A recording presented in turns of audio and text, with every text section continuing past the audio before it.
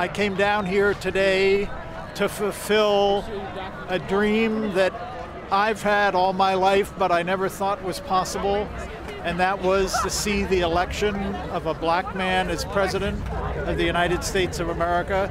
Fire it up! Ready to go! Fire it up! Ready to go! Happy Inauguration Day! Go Marla! Go Marla! Go Marla! Obama! Obama! United States, H.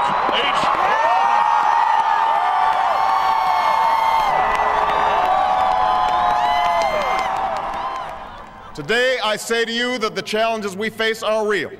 They are serious and they are many. They will not be met easily or in a short span of time. But know this, America, they will be met.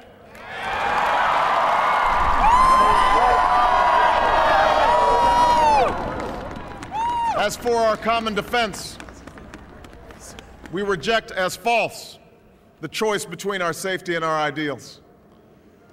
Our founding fathers, our founding fathers, faced with perils that we can scarcely imagine, drafted a charter to assure the rule of law and the rights of man, a charter expanded by the blood of generations. Those ideals still light the world, and we will not give them up for expedience sake. The time has come to set aside childish things. The time has come to reaffirm our enduring spirit, to choose our better history, to carry forward that precious gift, that noble idea passed on from generation to generation, the God given promise that all are equal, all are free, and all deserve a chance to pursue their full measure of happiness.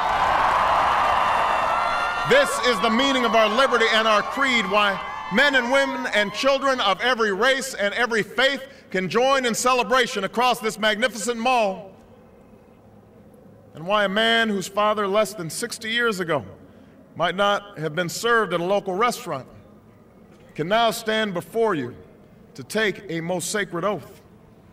I, Barack Hussein Obama, do solemnly swear that I will execute the office of President to the United States faithfully.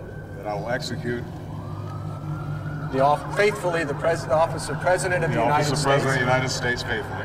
And will, to the best of my ability, and will, to the best of my ability, preserve, protect, and defend the Constitution of the United States. Preserve, protect, and defend the Constitution of the United States. So help you God. So help me God. Congratulations, Mr. President.